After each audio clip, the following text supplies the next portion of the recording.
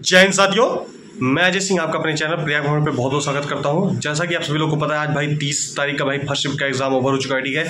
और भाई जिस बात का अंदेशा था यार शायद वही हो चुका है यार।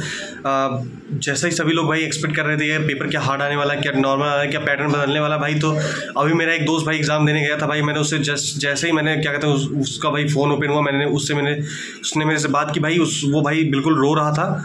और पता नहीं भाई उसके पेपर कैसा हुआ कैसा नहीं मुझे लग रहा है उसका पेपर बिल्कुल ख़राब हो चुका है ठीक है। और पता नहीं यार पैटर्न क्या बदल दिए भाई ये लोग ठीक है। वो वो बोला कि भाई ऐसे ऐसे क्वेश्चन पूछ रहे हैं भाई जीएस में कि भाई पल्ले ही नहीं पड़ रहा है यार मेरे और ऐसा कुछ हुआ, ये हुआ ये हुआ। तो भाई यार देखो जीएस तो भाई किसी के बस की नहीं है यार। ठीक है, अगर जीएस में आपको भाई क्वेश्चंस नहीं आ रहे तो देखिए थोड़ा सा ज़्यादा रिस्क मत लीजिए, ठीक है? जीएस नहीं आ रही तो भाई जीएस सबके लिए हार्ड है, ठीक है? उसको छोड़ के भाई स्किप करके आप हिंदी की तरफ़ जाइए, ठीक है? रीजनिंग मैथ पे जाइए, ज़्यादा उस पर फोकस करिए यार। आपका भाई जीएस नहीं हो रहा तो ऐसा नहीं है कि आप सिर्फ़ आपका जीएस कमज़ोर है तो भाई किसी का मतलब सब उसमें हंड्रेड परसेंट करेंगे। आपका जीएस कमज़ोर है, इसका मतलब उसमें भाई सबका कमज़ोर हो रहा है, ठीक है? तो भाई मैं ये कह रहा हूँ, भाई उसने मेरे से बात नहीं की, वो और उसी से मुझे पेपर मिलने वाला था, ठीक है? बस मैं उससे बोला हूँ कि भाई मेरे को पेपर भेजो, ठीक है? मैं अभी पूरा एनालिसिस करके बताता हूँ, ठीक है? तो अभी जैसे ही वो पेपर भेजता मैं पूरा एनालिसिस करके भाई आपको नेक्स्ट वीडियो में पूरा अच्छे से आपको बताता हूँ कि कैसे कैसे एग्ज़ाम्स में क्वेश्चन पूछे जा रहे हैं, जिससे भाई आने वाली इकतीस तारीख को भाई आज जिसका कल एग्ज़ाम है, उसको भाई बहुत ज़्यादा फ़ायदा मिलेगा इस एनालिसिस से।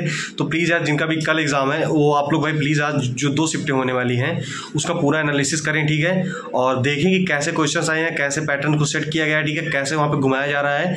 और भाई उसने मेरे को ये एक बात ये भी बताई कि यार क्या कहते हैं जीएस तो भाई उसका लेवल फिर से वैसा ही रहा है, जैसे कि तेईस चौबीस पच्चीस में आया था भाई अनएक्सपेक्टेड था, ठीक है? और जो मैंने चीज़ें बताई थी भाई कि जीएसटी और क्या कहते हैं, और क्या कहते हैं, मुद्रा जीएसटी और क्या कहते हैं, मैंने मैंने बताया था डिमोनेटाइजेशन और क्या कहते हैं, मैंने करें राजधानी, उससे भाई क्वेश्चन दो दो क्वेश्चन आए हैं, ठीक है? ये हमारी खुशी है, ठीक है? मैंने जो बताया था आपको भाई, वो क्वेश्चन मिल भी रहे हैं। लेकिन यार, जो लड़कों के साथ भाई, जो बीत रहा है, ठीक है, वो भाई अनएक्सपेक्टेड पेपर आ रहा है। उससे भाई लड़कों, लड़के भाई बहुत ज़्यादा हतोत्साहित हो रहे हैं, ठीक है? तो उससे यार थोड़ा सा ये गलत बात है यार।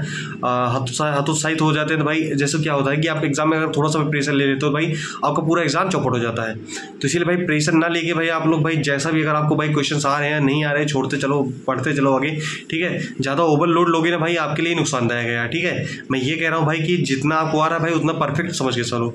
ज़्यादा आप ओवरलोड लेके चलोगे ना भाई, आप परेशान हो जाओगे यार। आपको भाई, जिस मान लो पंद्रह क्वेश्चन बन रहे हैं तो भाई, इसका मतलब पेपर भाई बहुत ही ज़्यादा टफ है।